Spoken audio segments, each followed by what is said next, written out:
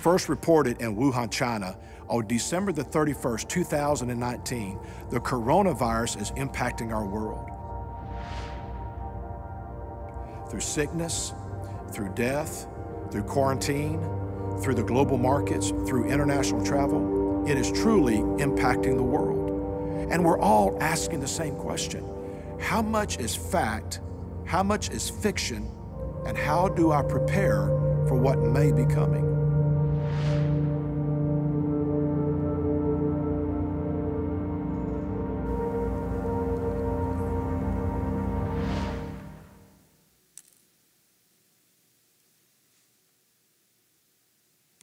The Surgeon General emphasized that we will know a lot more in a week or two on how this will play out. And in some places, large public gatherings, such as church services, may have to be restricted.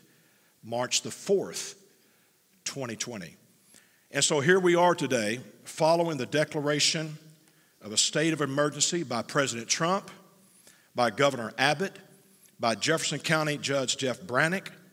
So today, you notice that our sanctuary is empty and that we come to you with live streaming. In response to these declarations, we want to protect the people of our church and the people of Southeast Texas. So, this is a decision that we had to make. I understand there are people that are asking the question where is your faith? My faith is rock solid on Christ and Christ alone. I stand strong today in my faith. But I also know that times like this demand wisdom and that as a leader in this community, I have a responsibility to set an example for others. Just like we have faith, but yet we still use our seatbelts. We have faith, and yet you still have health insurance. We have faith, and yet we still lock our doors at night. So we strike a balance between faith and being foolish. We understand that our faith is strong, and we have our hope in Him but let us be leaders in the community. And if anyone should lead, it should be the church. And so here we are today. We understand that first reported in Wuhan, China on December the 31st, 2019, the virus COVID 19 is impacting our world. It's ranging from our health and our quality of living to the global markets. Although coronaviruses are actually common throughout the world and generally cause mild illnesses like the common cold, this COVID 19 is a clear and present danger. The point is, we have to deal with fact and fiction. Is this a legitimate concern? Is this an exaggeration? Is there a lot of hype? Is it possible that there's a combination of both? And that I do believe. Although I may question what is fact and what is fiction, one thing I am certain of the coronavirus perception is creating its own reality. Thus, we see the up and down with the stock market. Luke chapter 21 and verse 26, Jesus said, Men's hearts are failing them from fear and the expectation of those things which are coming upon the earth, for the powers of the heavens shall be shaken. And truly, we're going through a shaking.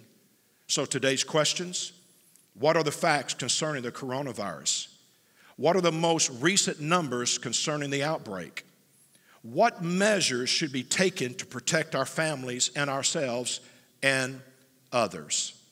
So, today we have seated a panelist, and I want to introduce them to you and we're so honored to have them, and I'm excited about this moment because I do believe, as I mentioned earlier, that this is going to be educational and informative. First of all, from the Beaumont Public Health Department, we have Director Sherry Ulmer.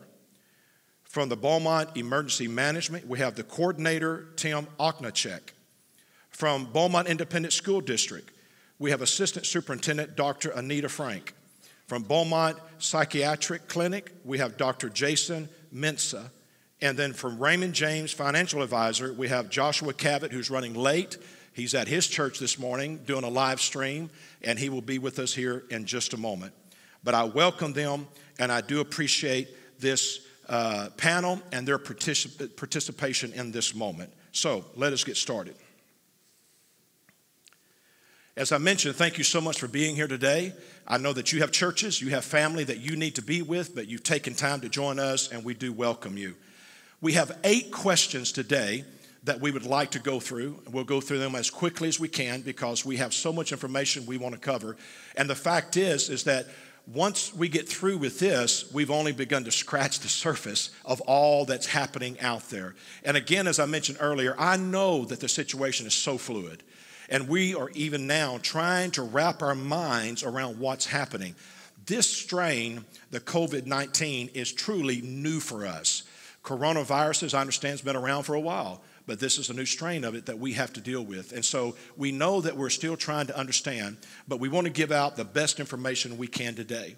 So, uh, also to those that are watching online, uh, let me encourage you that if you are watching on Facebook, that you can uh, you can uh, post a question and we'll get to your questions the best we can. So those of you that are watching online through Facebook, you can post a question.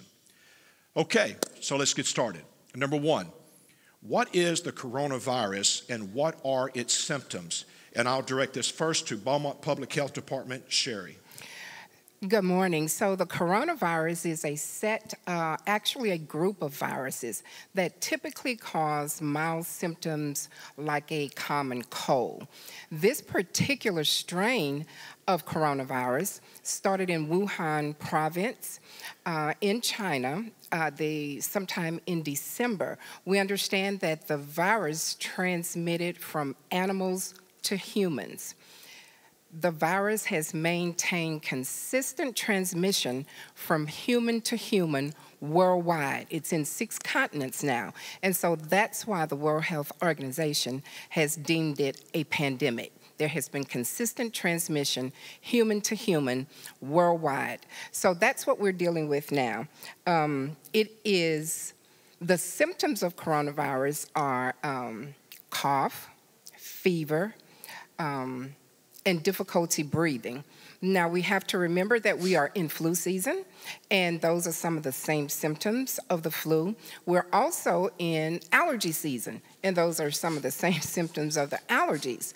So, what we have been doing as far as attempting to test people with these symptoms, we determine whether or not they have traveled.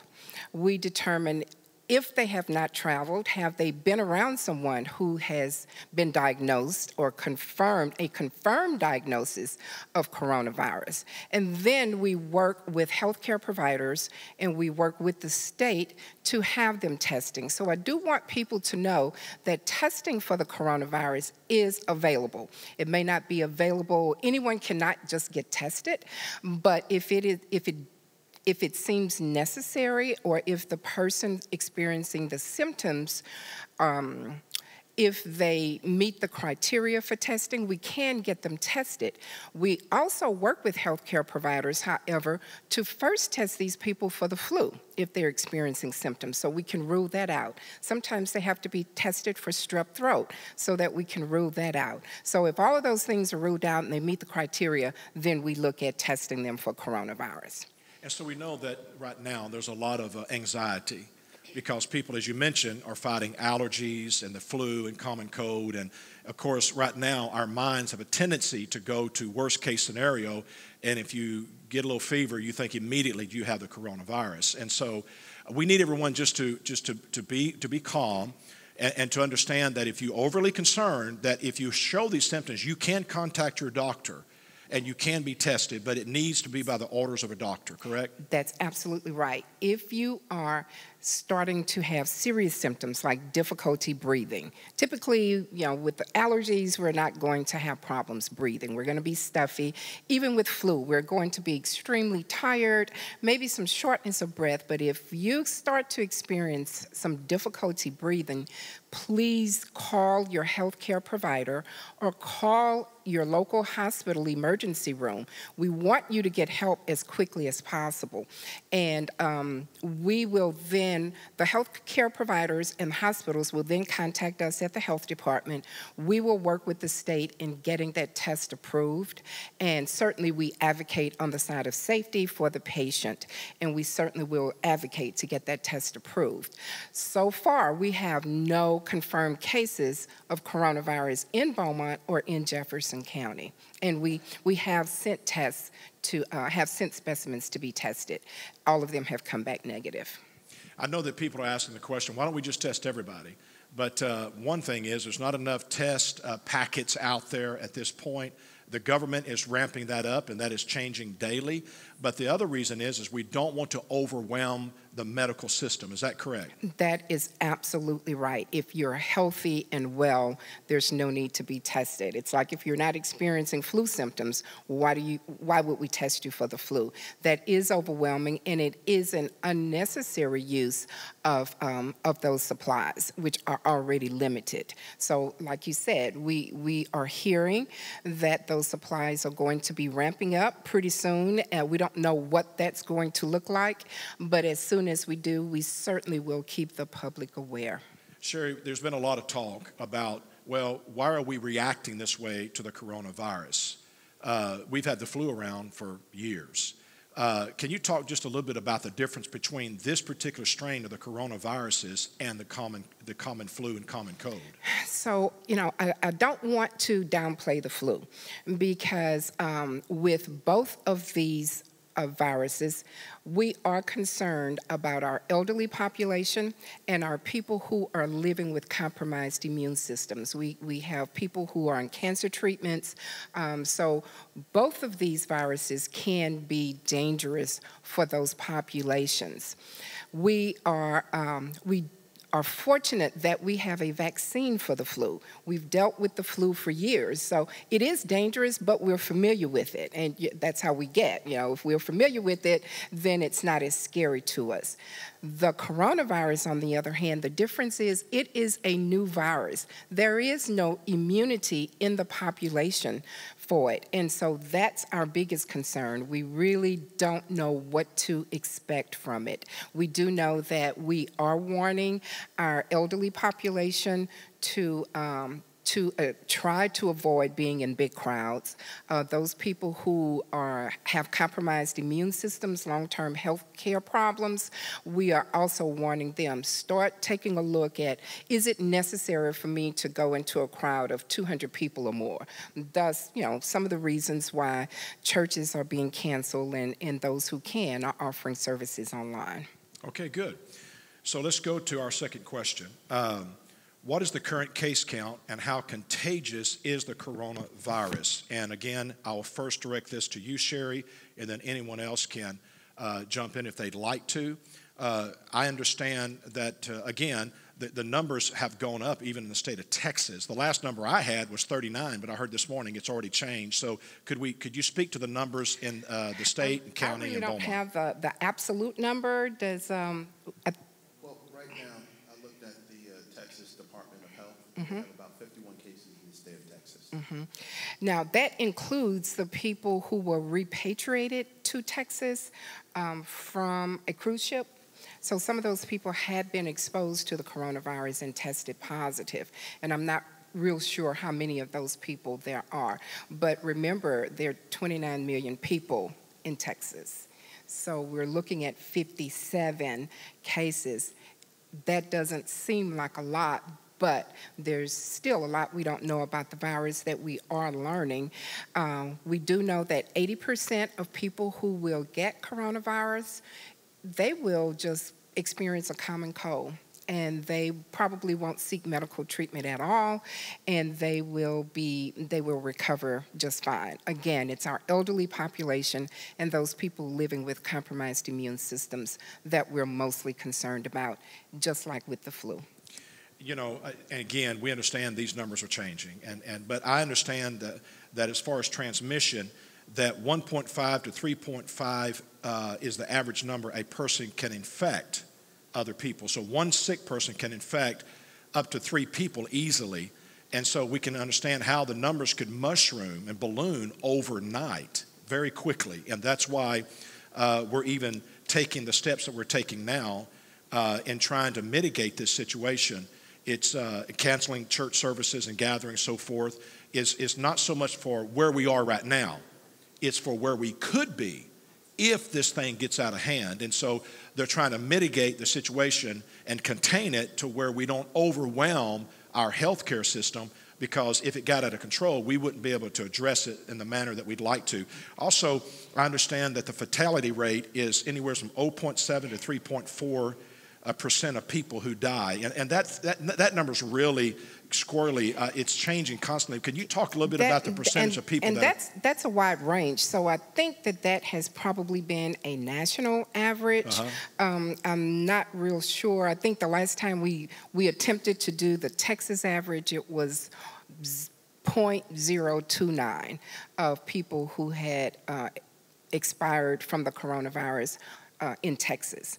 So it, it's still very low. We we do know that um, it, those have been elderly people with compromised immune systems who have um, who, who who have expired. So, which is unfortunate, but um, the the percentage is very low. Yeah, I think the number that I had actually three and a half percent is is more of a, a, a, a national number that they're looking at. And but I did read and heard that one of the concerns we have with the coronavirus now is it's ten times more lethal than the flu. Is that numbers you're seeing? I have not heard that. I mean, I, I've heard it, but I don't know that to be true. I don't know, not if 80%, uh, you know, I'm trying to wrap my mind around if 80% of the people who get it will recover. I don't know that it's 10 times more lethal than the flu, so I don't have any scientific base. Well, and again, that's why we're here, fact and fiction. Exactly. And so, uh, and, and then I heard, as you mentioned, 80% are mild cases, Yes.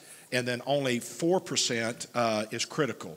And again, I, that just shows the range. And in that 4%, as you mentioned, it's primarily 60, 65 and up with a compromised immune system, Yes. a, a, a compromised immune system, or Yes. uh, some underlying health issue already. Exactly. And it can be younger people with compromised immune systems. So the compromised immune system component is a part of that, um, that fatality rate. One last question. Uh, what is the status on developing a vaccine? I'm, I'm, I'm, I know you don't have an inside track on that, but I what wish I did. information can you give us at all? Have you heard anything at all about how we're progressing with the vaccine? So I have heard anywhere from one year to two years. That's that's what's being said now. Um, hopefully, um, we can get something a little bit sooner than that. But because we don't have a vaccine, because we don't have treatment for it, this is why we're encouraging people to do the tried and true public health measures that we know have worked over years. Wash your hands. You can't wash your hands enough. No matter how many times a day you're washing your hands now, do it twice as many times as you're doing it with soap and water for at least 20 seconds. Hand sanitizer is okay if you don't have access to soap and water. Hand sanitizer will work, but soap and water is preferable. Stay home if you're sick. Like Pastor has said, one sick person can infect another one and a half to three people.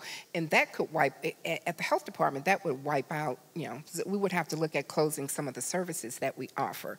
Clean surfaces the antibacterial, antiviral sprays, uh, cleaners that are in the, the stores that we use on a regular basis, Lysol, Clorox, uh, the 409 spray, those are effective. They're CDC approved to clean surfaces. They, those um, solutions will kill the virus. We understand that the virus can last on surfaces for up to three hours, which is not a long period of time, but if someone comes along and touches a surface where someone has coughed or um, and and then touch their face, their eyes, their mouth, their nose. Those are the, the areas where germs enter into the body. So we want everybody to just clean, use good hygiene, um, be prepared. Be prepared. You know, we live in, in, in a hurricane area, so we should have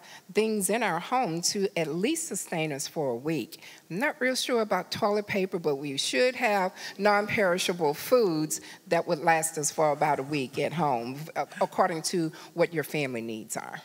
Okay, our third question, and, and this is a great segue for me. Uh, how does the coronavirus spread? And again, back to the public health department, Sherry, and also to the Beaumont Emergency Management Coordinator, Tim Ocnaschek. You might have something inter, in, in, to, to uh, interject here, but uh, how does the, the, the virus spread? And you mentioned, for example, it, it, it stays alive on a hard surface for three hours. See, again, fact and fiction. Let, let me give you some numbers that I have and tell me, because this is what I get off the news and, and, and, and social media and the internet, and maybe you can tell us what the, uh, the official uh, report is from the health department. But uh, we understand that it's, it's transmitted through uh, respiratory droplets, coughing, and sneezing. Uh, I was told it could uh, stay alive several hours airborne, three days on hard surfaces. And then person that is contagious can be contagious up to 37 days.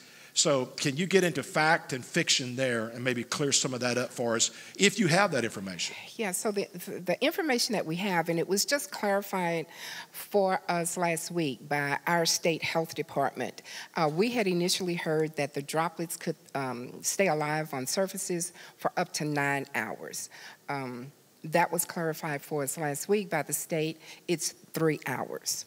So, uh, again, that's why hand washing is so important. That's why cleaning all surfaces are so important. At the health department, we have our whole staff involved in cleaning because our cleaning staff can't do it all. So, we're all taking part in keeping our areas clean, keeping our workstations clean. Um, so, the, the, the virus is transmitted person to person. So if you're in close quarters with someone and they're talking to you and um, it, it, can be transmitted that way, you can breathe in the droplet. That's the six feet. That's the six feet different um, distance yeah. if we're going to uh, move to social distancing. We want to try to stay at least six feet away from, from persons if we get to that point. Again, we do not have any confirmed cases in Jefferson County at this point. Um, we're making some efforts now to put some things in place so that if we do get the first case, people will have been educated. Uh, we go to the next part of our plan. People will easily know what to do. We're already starting that process. So, so this is this is a a good effort for us to be able to get information out. Uh, Tim, could you talk a little bit about just the city? I, I know that we're looking at uh, large events, you know, whether it's at Julie Rogers or the Civic Center or the Event Center or the State Fair. Uh, uh we're talking about social distancing, and, and we're not sure how long this is going to last. And um, I, I guess I'm, I'm, I'm asking the question, I mean, and no one can answer this, or you know, rather we're going to be do, uh, engaged in this social distancing, whether it's 30, 60, 90 days or the rest of this year. No one really knows that. We don't have a crystal ball. But why don't you talk a little bit about the city and some of the things you've been, you've been discussing and what we're looking at as far as the city is concerned and upcoming things and events? Okay, and I'll try to uh, defer medical questions to the medical director. However, uh, there's a lot of interaction, as she mentioned, even in something as simple as cleaning. You might have people that are, are established to clean your buildings, your facilities, even your home, but it takes everybody working together on this case because it needs to be done more routinely. And this is something that's not necessarily specific to coronavirus. It should be common in the flu season. This is the flu season.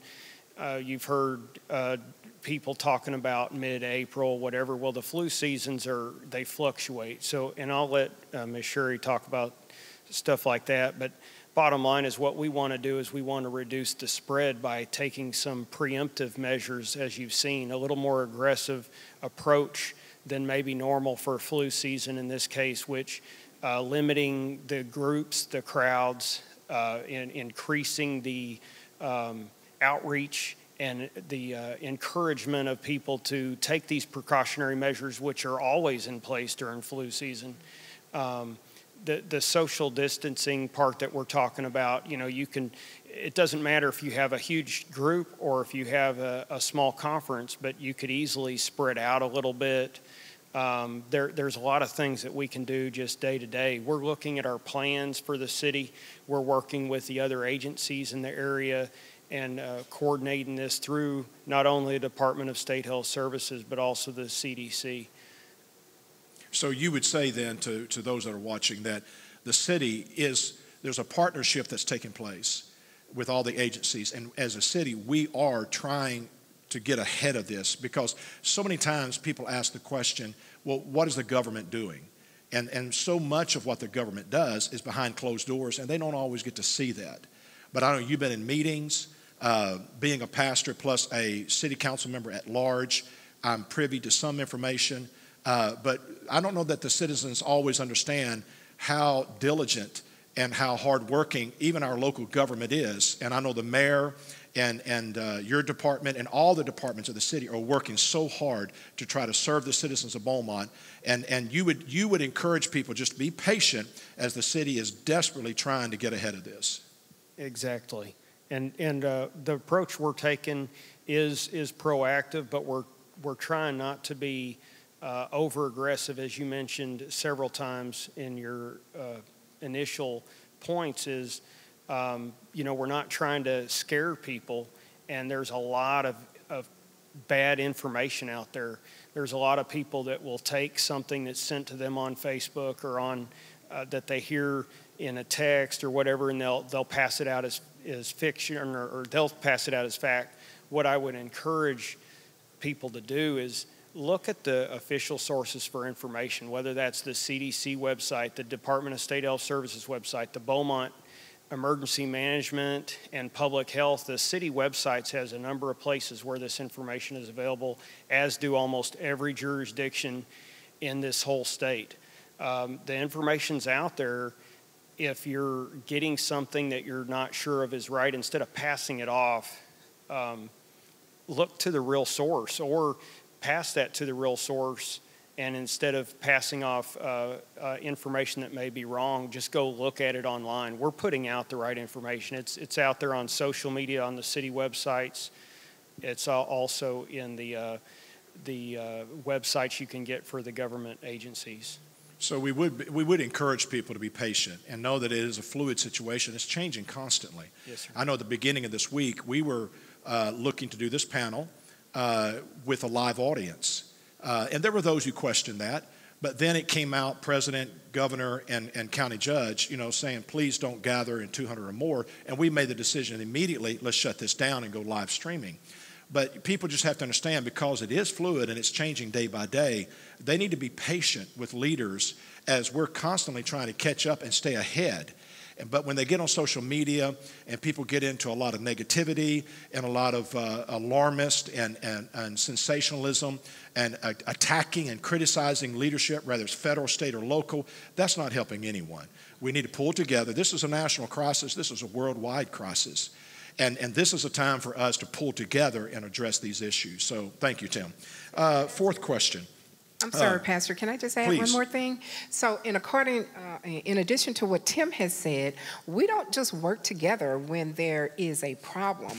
We have plans in place. We we uh, developed a pandemic plan nine years ago for H1N1, and we exercise parts of these plans on an ongoing basis. So several times a year, we get together, we talk things out, we actually do some real life exercises. So we are as prepared as we can be with the information that we're getting. And of course, it's fluid, but we are accustomed to working through these types of situations. That's good.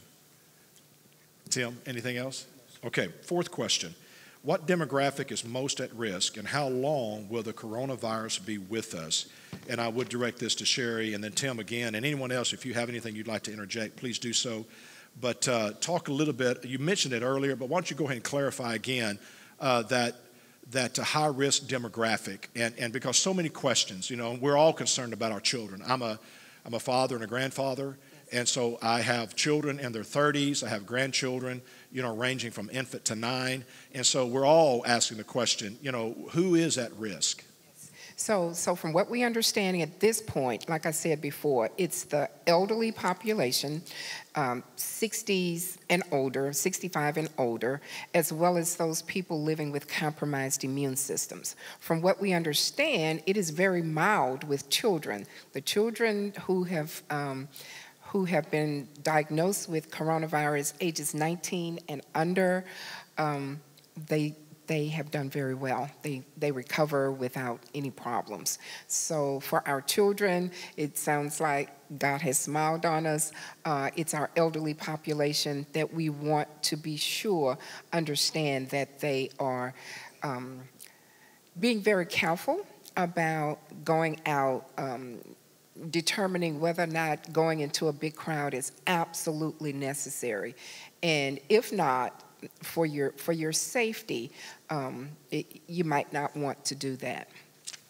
So one of the things too I know we're concerned about is people that have a compromised respiratory uh, system, a COPD, uh, um, allergies, or, or uh, asthma is the word I'm looking for. Those are the ones that really need to be careful because this Absolutely. attacks the, the lungs primarily. Absolutely, yes, yes. Why don't we talk a little bit uh, as you're, you're, talking about this uh, coronavirus and, and just, you know, how long will it be with us? Why don't we address the what they call, you know, the flattening of that line?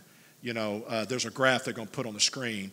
You know, we're all concerned about this peak, and then we're trying to mitigate this thing where it levels out. Because I think what people need to realize is that the coronavirus is going to be with us for some time. And you said it earlier that it could take up to two years to develop a vaccine. So this is not here today, gone tomorrow. I think people may think, well, we'll just hang on to the summer and it's going to be over. Like the flu season, you know, it ends and then we're all back to normal. This is not that. I know they're worried about this thing peaking, but they want to chop that off quickly and get it down and then keep that straight line where we can, by through mitigation, we can maintain this thing where it doesn't overwhelm the health, uh, the healthcare system. But if it goes up and it stays up and it stays up, that's where we get into a problem, correct? And, and, and it would definitely tax our healthcare system. So there would have to be alternative ways that we would uh, look at, which some of those ways are in our plans, but we would have to look at alternative ways of, of caring for people. Um, again, a lot of people do not have to be hospitalized. They can recuperate at home. Um, some people will need to be hospitalized. Some people will need um, assistance with breathing, not uh, being ventilated. Um, so we we just really have to wait and see what that's going to look out look like. We know the capacity of our of our healthcare system, and we know at what point it's we've just we've been maxed out. Which is why we are encouraging people um, to call their healthcare providers or call the emergency rooms before going in. If you feel that you are having symptoms of coronavirus, difficulty breathing, don't just show up. Um, first of all, it, it just it, it it's it it just makes everybody uncomfortable. But if we know that you're coming, then the staff can prepare for you. They can meet you outside the door. They can hand you a mask. At the hospitals, they can get you immediately into an isolation room so that germ is contained, um, that virus is contained. So um, that's one way now we're trying to alleviate the, the workload on the healthcare system is to try to plan as best we can that people are going to be expected coming in with uh, complaints of some difficulty breathing and some thoughts of, of having coronavirus. Again, a lot of times if we test them for the flu, they're positive for the flu, which is good, which is a good thing. But um, I also want to give a plug. It's not too late to get your flu shot. well, again, I just want to, uh, you know, repeat that the measures that are being taken now, like the declaration, uh, the, the, state of emergency, uh, is not for where we are. Right now, it's manageable in the state of Texas and in the nation. It is manageable. But if this thing gets out and, and we lose control of it, it could reach a point where we could no longer manage this and it would overwhelm our healthcare system. So this is preventative. And that's what people don't understand because I hear people saying all the time, you guys are overreacting. And they don't understand that this is preventative to keep it, uh, to keep it under control because if we ever lose control, then, then we're going to have a serious problem. I, I would like to make just one point of clarification. When we talk about overwhelming the system, the system's built, I'll call it a tiered type system. It might overwhelm the normal health system, but we do have plans in place for cases where the normal system is overwhelmed, which we do not want to have to initiate those or activate those plans. If we do this, we're mitigating, as you've mentioned, at an early stage, and the current normal day to day health system can accommodate that, and that's where we want to stay. We want to stay in that tier of, of service. Yes, yes, absolutely. Uh, fifth question uh, How do we prepare, protect our families and ourselves? And again, back to Sherry and Tim. Okay, so I, I think we've probably addressed some of those things already um, as far as um, following the, um, some of the mandates that are being put in place now. Uh, I know that statewide, there have been schools that have been canceled.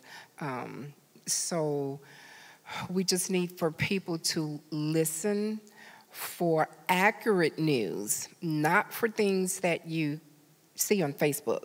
If it's on Facebook, it's it's not it's not accurate. So, what, what we are having to do a lot of times is chase down a lot of rumors on Facebook um, because they're not true, but people believe them and they start sharing that information.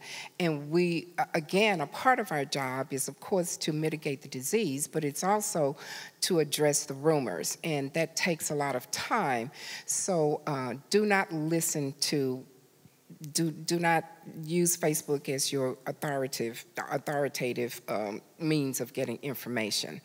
Again, practice those, those things that we have talked about washing your hands, cleaning surfaces, um, stay home if you're sick, see your medical provider as soon as you think you need to see someone. Don't just stay home and suffer see your medical provider as soon as you think you need to. Only you can determine that, or you can give us a call. But listen to the directions from the city. Um, again, like Tim said, we have we have. Um, websites, that's where you will get accurate information. We will use the media to get out accurate information, but it will come from a city official. So listen, listen to the official voices and try not to listen to social media. One point I'd like to make up is, is when we're talking about Facebook, there's a lot of people putting information on Facebook, but most of the government agencies also have Facebook, Twitter, and those kind of things. The use of those social media as sources would be proper and appropriate. We are putting the information out. The same information that goes on the website goes out on social media uh, and likewise, so you should be able to use a city official or a government official source, whether it's social media or website, as an official source of information. It's the it's the person-to-person transfer of the information we want to try to uh, limit. Good. Well, I think the point is too is that we want to encourage people if they are in that high risk demographic, they need to, to pay attention and, and be very cautious. But outside of that, people need to keep living and they need to weigh risk uh, versus benefit. Uh, is it worth it? And they just, but we can't shut down as a society if you're not in that high risk demographic. We need to, uh, we need to keep keep living. Uh, I'm assuming we all agree that you don't need at this point to stockpile groceries and supplies. And we got people, as you mentioned, buying tons of toilet paper. And I don't know why that one item seems to be the focus, but I mean, we, we, we, we I, you know, maybe you should invest and, toilet paper stock. I don't know, but that that seems to be where we're headed. So, but uh, uh, I think we all agree we don't need to do that. Before we transition out of this segment, I've been primarily talking to Sherry and Tim. Uh, before we segue out of that, uh, we do have some Facebook uh, questions, and so we're going to take a few of those before we get into BISD and Dr. Mensa. Yes, we have a few questions from Facebook. One of them is Is it true that you can carry this virus um, in an incubation stage for weeks without knowing that it's in your body and spread the virus without visible signs of the virus? Jennifer asked this question. You know, we have we have heard that, but the clarification that we have gotten from the state is that once there is a contact with the virus, it will take 2 to 14 days for the symptoms to appear. So, so far, that's the last information that we have, but we did initially hear that information about the, from the question. Um, but it's been clarified for us. So again, that's today. It may change. Christy. Um, Anthony asked, once you get the virus, if you get the virus, can you get it again? We don't know. That's, that's been a question that's been asked before, and we, there's no answer. Um, Jessica asked if this virus is just like the flu in that it spreads like viruses do, airborne. I'm not understanding the panic and the closures of so many things. What is it about this virus that would want to close schools, churches, etc., but we don't do that for the flu? So, again, I think it's because it's a new virus. There is no human immunity in the population. Uh, with flu, we do have immunity to flu. Uh, there is a flu vaccine. For this virus, there is not yet any treatment, so that's the concern. Another question was Are there any updates on domestic travel? Yes, I think there are, and those are listed on our website. Um, if you go to Texas Department of State Health Services, there are travel warnings. And then the last question in this segment is it real memphis asks is it realistic to expect the uh, is it realistic to expect the possibility of the government isolating us to our homes only and shut down any movement is that realistic I don't know that it's realistic at this point. I do know it is a part of a big plan. I think your point is we are speculating at this point, but we do have concerns because we look at Italy and what they've done. We look at uh, Spain and, and, France now that has followed their, their example, and they're shutting those nations down. And again, I think that's part of why we're doing this today, is to mitigate the situation where we don't have to do that we're trying to get ahead of this thing and prevent it from getting to the point where we would have to shut down our borders and shut down our businesses. Yeah, it, Italy is a good example. I think that um, there were just things that were put in place a little late, and it got ahead of them, and so that's why um, it when the county issued the declaration, then we're doing um, some of the social distancing things that we're putting in place now. Our goal is to prevent the spread of this infection, and that's what public health does, not only with this disease, but so many other diseases. Okay, let's transition now and let's talk about this outbreak and, and how this could impact uh, our school system and also our, our families here in Beaumont. Uh, again, these numbers are fluid, we know that. But uh, the last number I got was 46,000 school closures, national, impacting 26 million students. So, our sixth question out of eight is what plans, protocol does BISD have in place if there is an outbreak in Beaumont? So, this first goes to our Assistant Superintendent, Dr. Anita Frank. Let me begin by saying that the safe and uh, the safety and the health of our students is very is paramount to us. Also, our families and our community. We have an emergency management response team that has been activated and we have some precautionary measures that are already in place that we're doing on campuses. We were doing this because it is flu season already. We work very closely with our uh, public health department. So we've been cleaning surfaces, doorknobs, of course, desks. Uh, we've been going through and making sure that we clean water fountains. Also, because of our issues with coronavirus, we have a new machine that we're using, our electrostatic machine, that is deep cleaning our campuses. We are off this week because of spring break, and every campus in our district will be deep cleaned by this new machine that we have uh, purchased for the district. Also, not only do we have precautionary measures, our emergency management team has been looking at the what ifs. You did state there are several school districts that have decided that they are not having classes.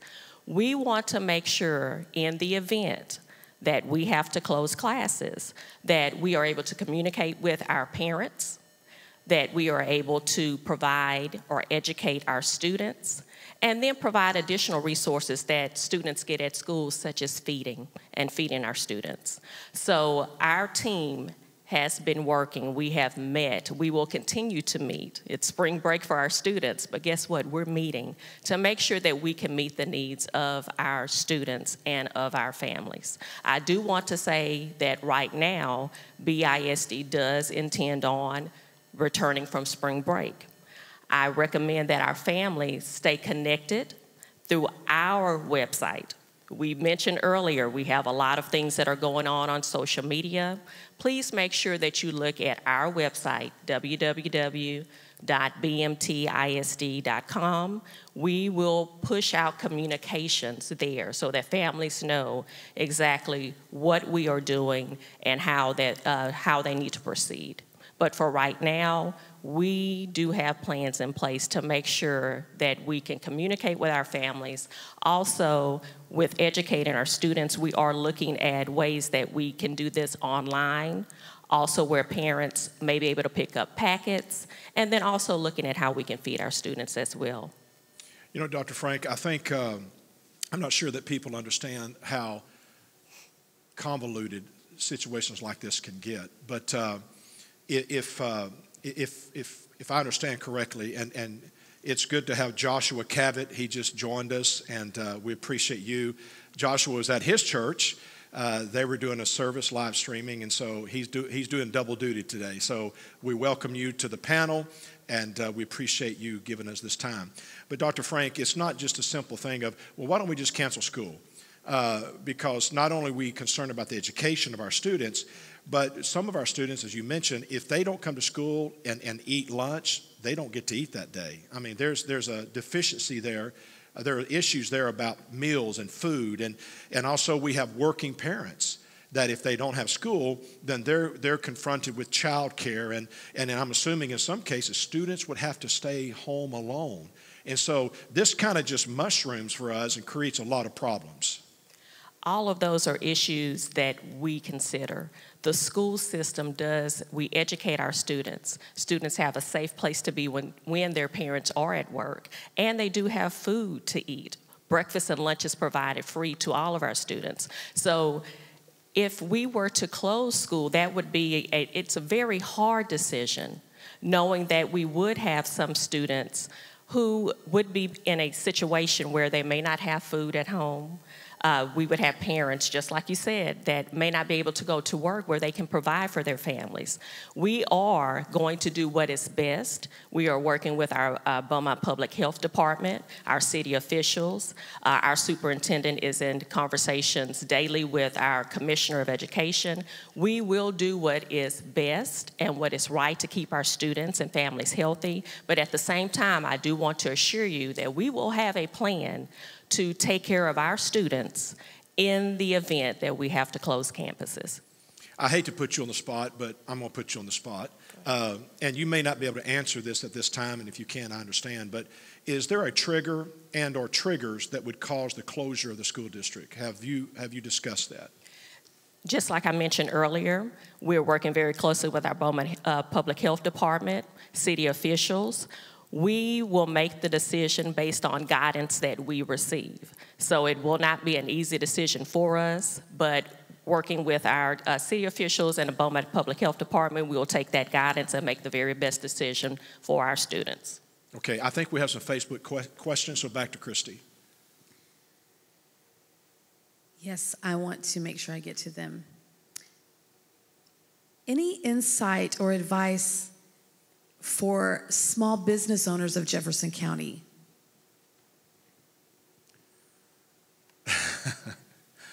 You know, uh, I, I'm not qualified to speak to this. I don't know, if Joshua, you have any information, but it's my understanding that the government is working now to try to uh, provide help for us uh, with that issue. But I mean, do you have anything uh, that you can speak to at this point? Uh, Tim? I'm not totally clear I understand the question. Are we talking about uh, economic issues like the inability to, because you lost your, your revenue from something closing?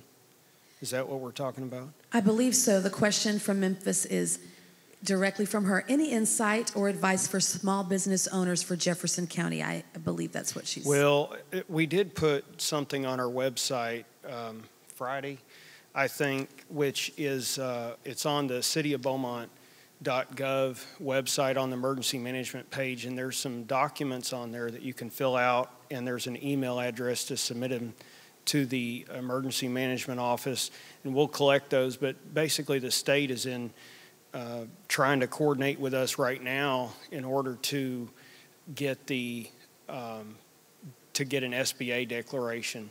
And if the uh, Small Business Administration declaration's out, that would provide relief to uh, uh, businesses and nonprofits that are um, that lost or had economic issues during this. And I think it's called an economic injury form. But it is posted on the website along with an address they can uh, email address they can send it to. Yeah, let me just read this for you, Tim. This is the press release by the mayor, and I know, Tim, you actually were part of this. Uh, uh, by going to the emergency management section of our city website and submitting an economic injury worksheet. Uh, and guys, put that on, on the uh, screen if you would. I provided it. I hope you have that. Is it uh, eoc.beaumont,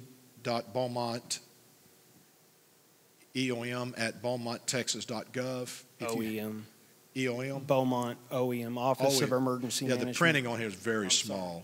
Uh, Tim, go ahead and give it again so that we're clear. EOC.Beaumont OEM at beaumonttexas.gov. Okay. I can get it to them later if, if I need to. And we need as many businesses as will to fill that form out, correct? Well, I think it's in their best interest and it's in the state's interest to make sure that we have documented the economic injury from this coronavirus incident. Okay. Christy? Another business related question from Haley Do businesses need to continue on as normal? Okay.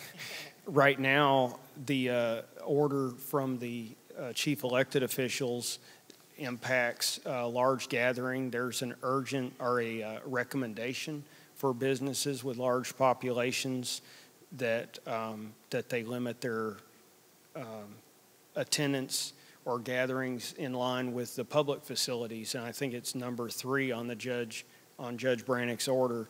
Uh, that can be accessed by um, going to the Jefferson County webpage, um, and that would impact pretty much everyone. But it is a recommendation to the businesses where it's an order for uh, public facilities throughout the county. Okay. Anyone else before I shift? Okay. Um, number seven. Uh, what emotional and psychological impact could this crisis have on people? Um, and of course, we're all concerned about our children and our teenagers. And I'll first go to Beaumont Psychiatric Clinic, Dr. Jason Mensa.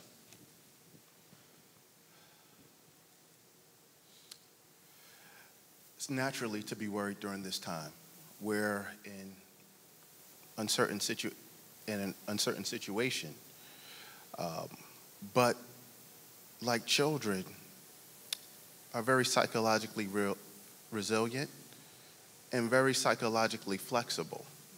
So things that I recommend when managing information to children is to limit their exposure to media, maybe watching something from the news one to two times a day, and then informing them right now we're in a state of prevention. You know, there is currently no cases here in Jefferson County. Um, and and keeping them informed with that. The next thing is Uh, uh, Doctor, I'm sorry to interrupt yes. you, but I, I, this is so critical what you're saying. I want to make sure we're tracking with you. So, what you're recommending to parents is, I understand, limit their exposure to the information, but to be honest with them, tell them the truth, but let them know exactly where we are in that preventative stage, and it's not a complete outbreak. But you're saying don't hide it from them, be honest with them, and be truthful. Yes. Okay. That's good. You know, uh, children, they have wild imaginations. Um, they may say, oh, the coronavirus is the zombie apocalypse. No, that's not what's happening here. And they're going to hear this whether they hear it from us or from friends at school, correct? Yes. So it's better they hear it from us instead of getting their information off of social media. Exactly. Um, and just making sure while they're off from school that they have routine, arts and crafts, learning projects. Um, recently, I played a game with my son, Pokemon card game, uh, because I was off from work due to this uh, epidemic that we're uh, facing. But just spending time with your children, enjoying the time that you do have off from work, connecting. So That's you're talking about taking this bad situation and turn it to our good and reconnecting with family and friends uh, where possible, and, yes. and just making sure that we keep community because we're talking about social distancing. Uh, so we, somehow we've got to have still have community and relationship building even in the midst of this crisis. Then. Yeah, exactly. So with the social distancing, maybe we may not hug more, but um, maybe one of the things we can do is um, there's this thing in yoga called namaste, in which we put our hands together over our chest and we bow, which means the divinity within me acknowledges the divinity within you. So even though we do have social distancing, it's important to still be socially connected with one another.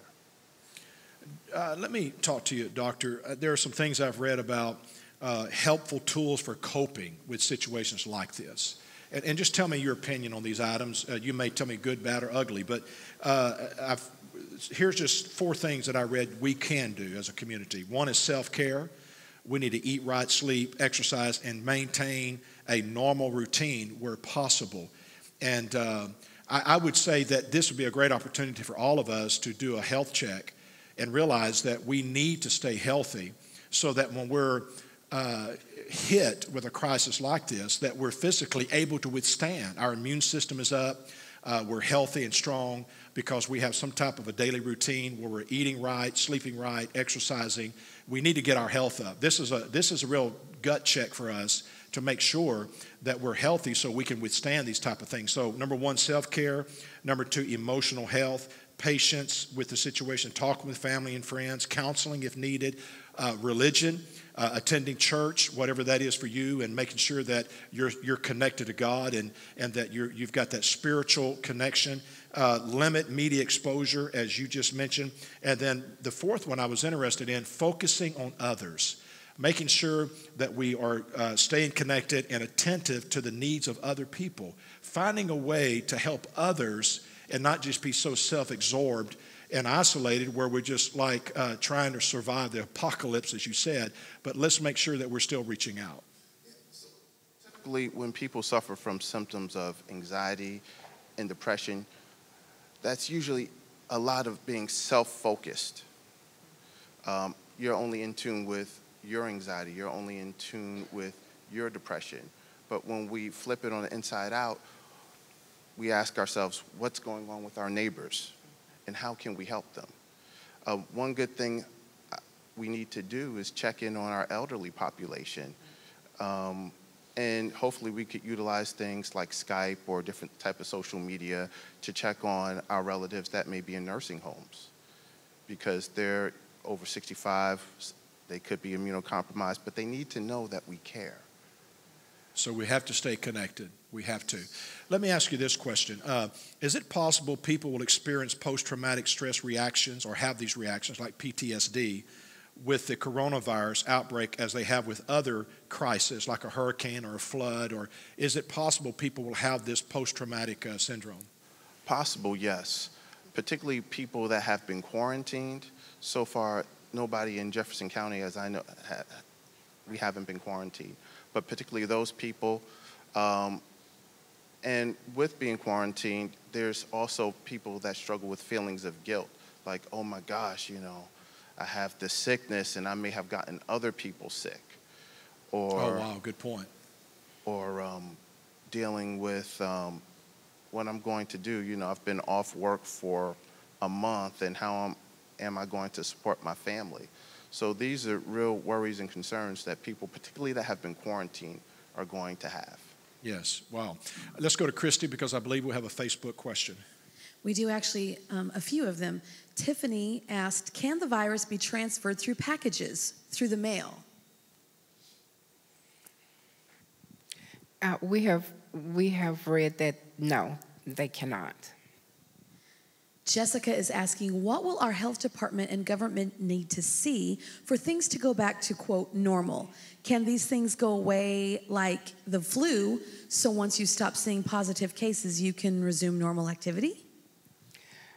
Y- Yeah, that's absolutely what we're going to be looking at. Um, you know, we we're preparing now to attempt to mitigate the spread of, of this virus. Um, so if we get to a point where we have cases, then we need to, before we can get back to normal, we need to get to a point where the virus is is is not circulating in our community or there is a vaccine available that we can administer. Josemary asks, this is a question for Jason.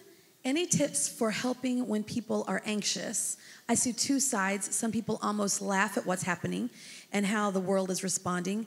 Others are saying it is apocalyptic. Can you give some phrases or communication tips to help us be empathetic and not increase anxiety?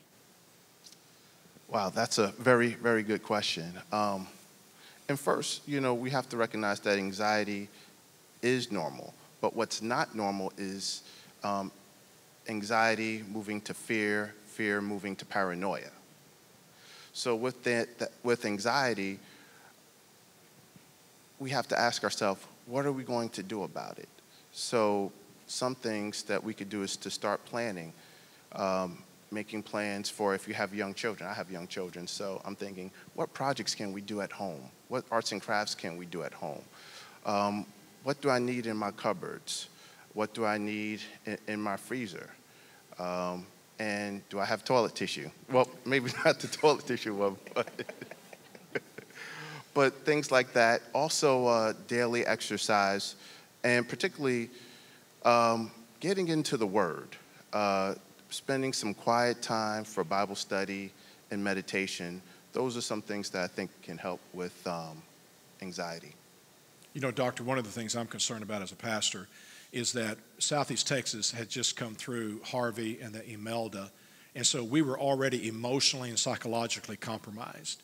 And then you pile on top of that this. Uh, concerned. And I think this is a time when we need, as leaders, pay attention to people because if this continues, uh, this could really become a problem for some people. And we just don't want to see people get into despair, as you mentioned, where they start giving up, because this has been a tough time for Southeast Texas. It, it has, but one thing, I, I'm new to Southeast Texas. I've been here about seven years, and the people of Southeast Texas are extremely resilient, are really connected with one another. Um, and it's incredible. Everybody kind of knows one another, is connected, and is willing to reach out to help their neighbor. Um, and I really, I could be naive, but I really do not see the people of this community going into despair. I see people in this community going and reaching out and helping their neighbors. Good. Good. Let's go to our eighth and final question. What steps should we take to prepare for the economic impact caused by the coronavirus? And I'll, I'll pitch this one to Raymond James financial advisor Joshua Cabot. Sure. If you could bring up the slide that has the crisis and events, where it has multiple events, that'd be fantastic. Um, once that's up, keep going. Uh, a couple more. Right here. So one, one more back. So on this slide right here, difficult to see. Um, hopefully on the, the, the, replay, we were able to be able to zoom into this. This shows crisis and events that's happened multiple years, and it comes up every year. There's many different um, viruses that have gone around. lots of other events uh, that are just very concerning. Uh, and I would say previous events are not as socially spread, and people continue to garner that fear. Um, so, I mean, if if you know, one question, the previous question was, you know, apocalyptic. If if that were to happen, I mean, there's nothing we would be able to do. Um, so I can guarantee that there will be future events like this, um, but that doesn't mean that we shouldn't exercise caution in in in being careful of, of the spread to reduce that. Um, so, economic wise, I think um, there's going to be. I can tell you exactly what's going to happen with the equity markets this year. It's going to go up and it's going to go down, and there's going to be times when it's not fun, and it's going to be times when it's you know people get euphoric. Uh, if we think back to a time like 2008 uh, or, or, March of 2009 when you hit a bottom uh, in the equity markets, uh, that was clearly a bottom, and I would I would I would guarantee that everyone felt pretty terrible at that time on investing. Uh, so, from an economic standpoint, to to capture on that, uh, that would have been the best time to invest. Everyone knows buy low, sell high, right? So whenever it's it's almost counterintuitive in that you want to be able to to be advantageous whenever people are, are in Warren Buffett quote to say, you know, be greedy when others are fearful, uh, and be fearful when others are greedy. So when you have market tops, um, like we had a few weeks ago, uh, or, or, just a little bit more, um, and, and I, I, I, have my dentist giving me a stock tip and saying, oh, you got to buy this. That's a time when I see euphoria in, in clients uh, and they get greedy. And that is a time when we all need to, to be careful um, about portfolios, which I could talk a lot about diversification, uh, not just in equity markets, in many different asset classes uh, is extremely important during these times rather than being very concentrated in certain equity uh, exposures. Uh, isn't it true that um, it is dangerous to take a single snapshot of the stock market and make a decision? You have to look at the stock market over the history of America, and, and over the long haul, it has been healthy. Is that correct? Absolutely. So if you can go to uh, the slide, it was it was three after uh, where it shows market tops and bottoms. I can speak on that. Uh, one more. That's a great slide, but I'm going to go back. So this one right here, this one goes back to uh, 1996, and you can see uh, you had uh, PE ratios at that time that were pretty low. Market goes up to a tech bubble, goes down uh, to, um, uh, which is in 2002 at the bottom there.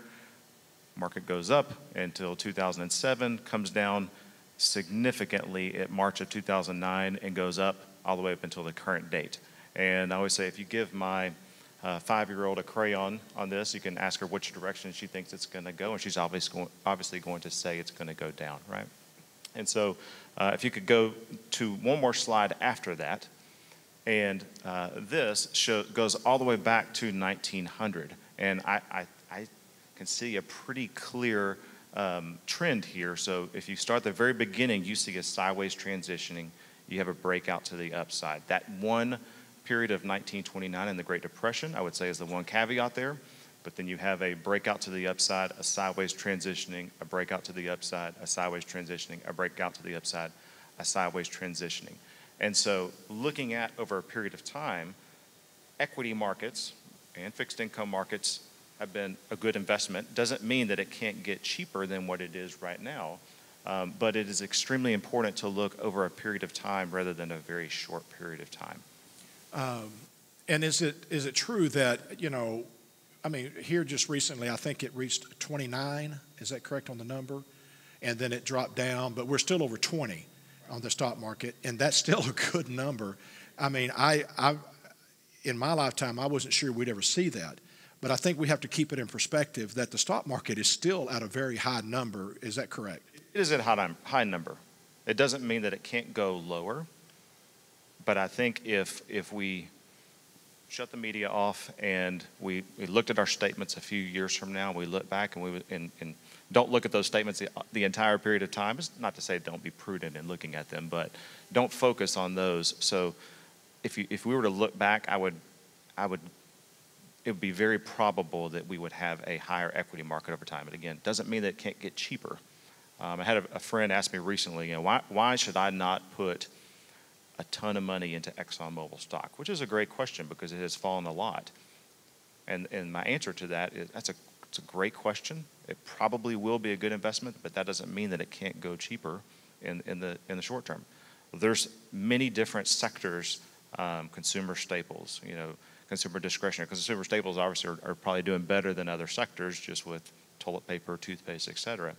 Uh, but there's many different sectors uh, that you can have amazing diversification through and have immediate liquidity. So if you need to sell one of those things is ex- extremely valuable. I think that's something we, we take for granted in the United States um, is many asset classes like real estate, it's hard to be able to go out and sell those right away. Whereas the United States, amazingly, has a very uh, uh, liquid market to where you can sell. Now, the valuation may change very quickly at times, um, but, but that's, that's something I think we should all appreciate. Joshua, would you agree with the statement that um, now we're talking about balance again? I, I, I, recognize that, but do you agree that uh, at, at, at this time, right now, the greatest threat to the American economy is an overreaction to the coronavirus? Stock market. Greatest, you said the greatest well, risk. We'll take that, maybe that's a little strong, but do you feel like an overreaction to the, to the, to the coronavirus at this time could have a negative impact on the stock market? People need to calm down when, in regards to the economics. Sure. It, it could have a negative impact. It could have an extremely positive impact. Like, if we're, if we're talking about uh, two completely separate things, one, the, the health aspect in the nation, obviously that's not beneficial, but could it be an opportune time to invest? Just like had you bought it, um, you know, on Friday morning it was down or it was it was high, went very low. So can you take advantage? And you had mark, equity markets almost up 2,000 points on the Dow. There are opportunities to be able to invest in. Um, and but the the overall impact of the coronavirus, I think there's a an, an overreaction. Um, and there, there will be overreactions in other areas, but that creates opportunity. Good. Okay, well, listen, I, I've, i really have enjoyed this. I hope you have. I believe it's been beneficial to the people of Southeast Texas. But I'd like to close out with what we call bottom line. Uh, want to give each of you an opportunity just to recap and maybe put into one sentence how, where uh, how you feel where we are at this moment. And I'll begin with Sherry. So I feel that um, we are at a moment of um, really working together with our partners. We always work together. Uh, we're working together a little bit more closely now. And I think that the citizens of Beaumont can trust that the leaders of the city will make the best decisions possible regarding this new virus that's in the human population. Tim. I just want to encourage everybody. The, the actions, some of them seem overreactive or maybe aggressive, but to some extent, I think it's obvious from, to everybody that that's what's kept the numbers down, the, the health impacts down in this country and in this state. So I would encourage you to, to do everything you can to help. There's a lot of maybe unnecessary meetings or maybe uh, uh, things like you've done as, as the pastor of this church and say, well, let's just uh, have a remote meeting. Um, we can still keep the communication, as the doctor uh, says, going, but yet there's some safer ways to do business. Keep, keep clean, take, take care of yourself, uh, and stay healthy. And we'll get over this a lot quicker than we will if everybody just goes about as business as usual. Thank you. Anita? I would ask that our parents to uh, stay connected through our website and our social media sites. We do plan on attending school on the 23rd, but if that changes, we will push that information out. Also, take the time to visit with your students and talk to them about the importance of hand washing. We've heard that from our uh, from Ms. Ulmer also. And I encourage parents when we return to school, and this is a little different because we normally are encouraging, you know, attendance. If your child is sick, please keep them at home. Good point. Jason? Um, anxiety is natural during this time. This is a very uncertain situation. But let's not let that anxiety freeze us into fear, paranoia, and doing nothingness. Let us use this anxiety to mobilize, to make sure that we have the things that our family and our community needs. And also, let's think about the needs of others and have some type of spiritual meditation practice to help decrease the anxiety and look for opportunities to be to service of others. Thank you, Joshua.